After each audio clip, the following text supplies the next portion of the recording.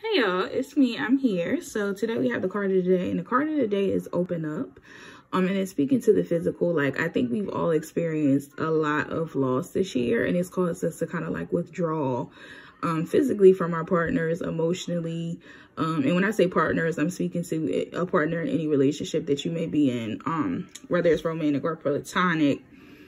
Um, causing us to withdraw from them. And really, Spirit is encouraging us with this card to really open up because if we're so closed off and we continue to put up walls, um, we're restricting energies that could potentially come in and heal.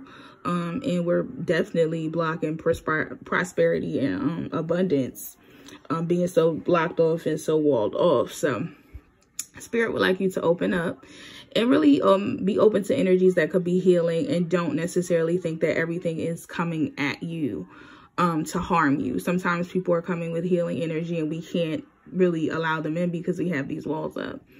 Um, so with that being said, if you would like a more detailed reading, you can definitely reach out to me at ashylisa.com. That's where I'm at. That's what I'll be doing.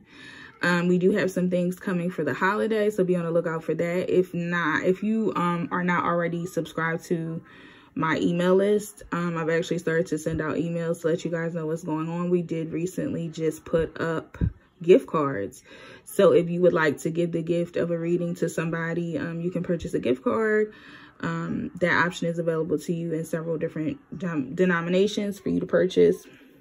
And there will be some other things that will be available um, for Christmas um, so we can get the new year together. Um, so I'll see y'all tomorrow.